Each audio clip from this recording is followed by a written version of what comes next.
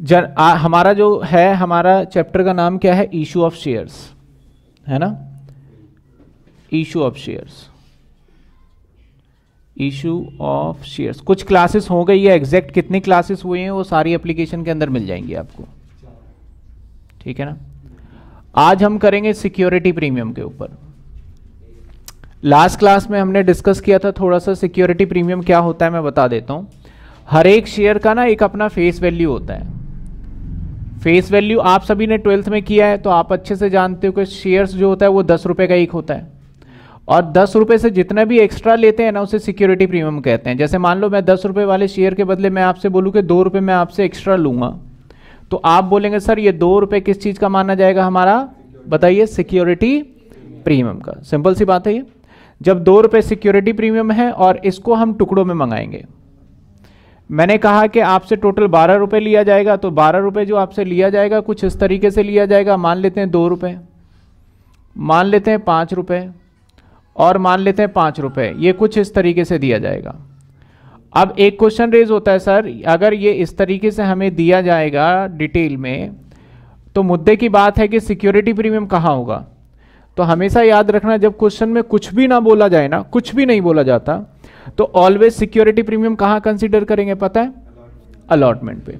यानी अलॉटमेंट की अगर मैं बात करूँ तो अलॉटमेंट क्या रहेगा? अलॉटमेंट रहेगा जी हमारा तीन रुपए हमारा रहेगा शेयर कैपिटल के नाम का और दो रुपए रहेगा हमारा सिक्योरिटी प्रीमियम का। अभी जनरल एंट्री भी देखेंगे, इसकी चिंता मत करो।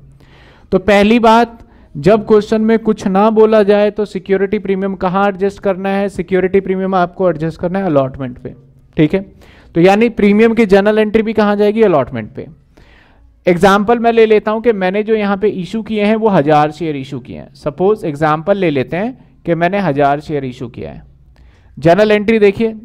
सिंपल जर्नल एंट्री अगर मैं फ़र्स्ट की मैं बात करूँ तो क्या करोगे आप? एंट्री बैंक अकाउंट डेबिट मैं बेसिक बेसिक चीज़ें बता रहा हूँ। अभी आप ट्वेल्थ क्लास में अच्छे से आता ही है आप लोगों को। तो bank account debit bank account debit की अगर मैं बात करूँ तो यहाँ पे हज़ार शेयर है तो हज़ार इंटू में दो। कितने रुपए आ जाएँगे? और टू क्या आ जाएगा बताओ? To share application to share application being मैं नहीं लिखूँगा अभी, क्योंकि बींग ऑलरेडी हम फ़र्स्ट क्लास में डिस्कस कर चुके हैं। और ये सारी चीज़ें मैं इसलिए बता रहा हूँ, क्योंकि दो साल का जो गैप हो गया है, या फिर आपने दो साल के बाद पढ़ रहे हो तो कोई चीज़ें भूल चुके होगे तो इसलिए मैं स्टार्टिंग से ही लेके चल रहा हूँ। अब अगले पॉइंट पे चलते हैं तो अगली एंट्री किसकी करेंगे हम? शेयर एप्लीकेशन अकाउंट डेबिट है ना? दो हज़ार रुपए। To equity share capital equity share capital दो हज़ार रुपए।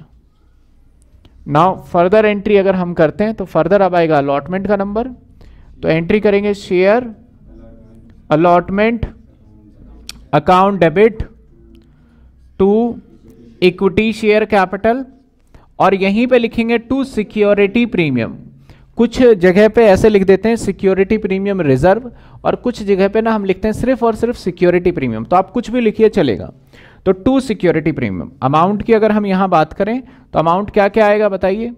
अमाउंट देखिए, पूरे इसमें तो पाँच रुपए के हिसाब से जाएगा, पाँच हज़ार। और इसके अंदर जाएगा शेयर कैपिटल के हिसाब से तो शेयर कैपिटल यानी तीन इंटू हज़ार, तीन हज़ार।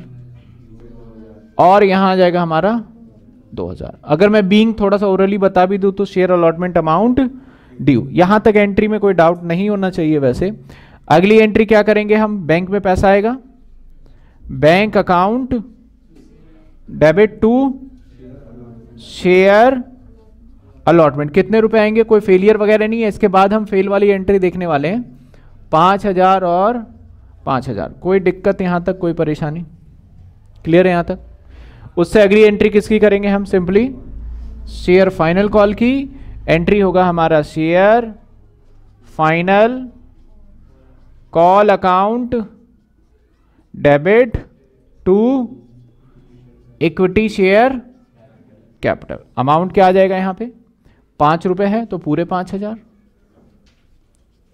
और अगली एंट्री क्या करेंगे? बैंक में पेमेंट आ जाएगा हमारे।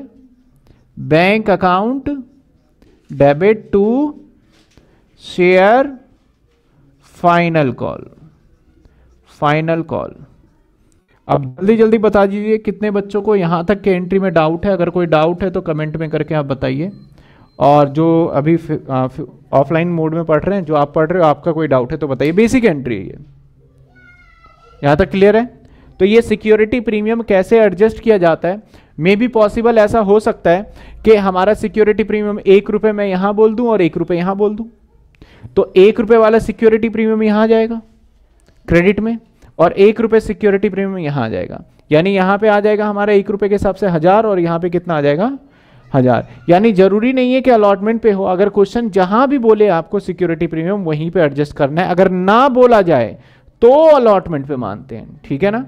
हो सकता है क्वेश्चन में बोले कि security premium will be consider on the final call तो सिक्योरिटी प्रीमियम यहाँ था हमारा फाइनल कॉल पे। क्लियर है ना? तो चलिए फटाफट एक बार इसको नोट करिए।